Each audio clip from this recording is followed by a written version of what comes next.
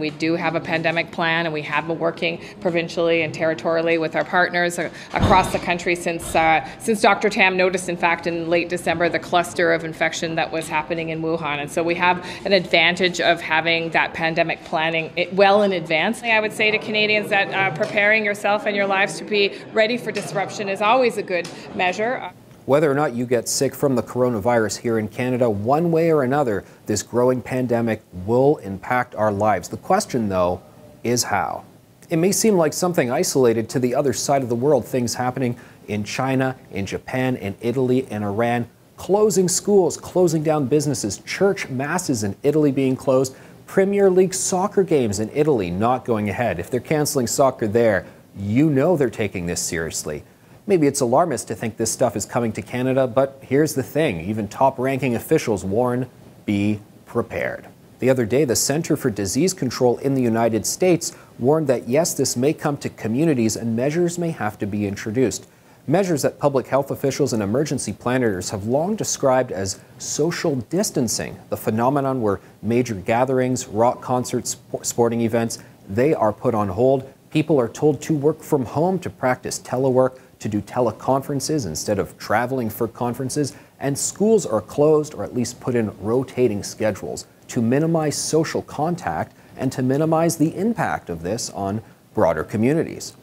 It would be nice to think that this will not come to Canada in the same way it's flaring up in countries like Italy, but it looks like our public health officials, who were previously spending a lot of time denouncing misinformation and potential flare ups of racism, well, they are actually now spending a lot of time half sounding the alarm. Dr. Theresa Tam, our chief public health official in the whole country, saying, well, watch out, we may need to do some things to prepare our communities. Public Health Minister Patty Hajdu has already encouraged people to start stockpiling essential items, dried goods, canned food, and so forth.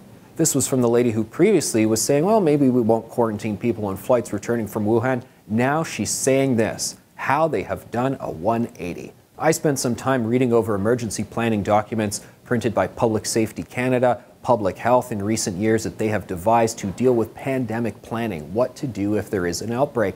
And they talk about all these measures, social distancing and more. So it looks like, regardless of whether or not you or your family members get sick, you will be affected in one way or another.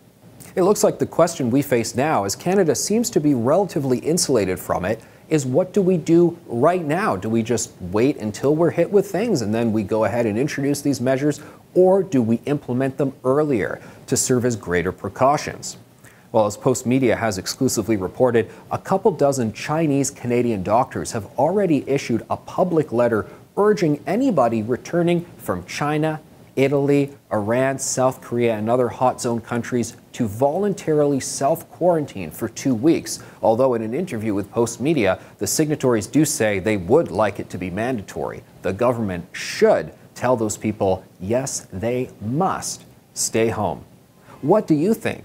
What measures are inappropriate? When are they appropriate? And what do you think you and your family should be doing? What are you doing right now to prepare? Let us know. Don't forget to comment on this video and like and share.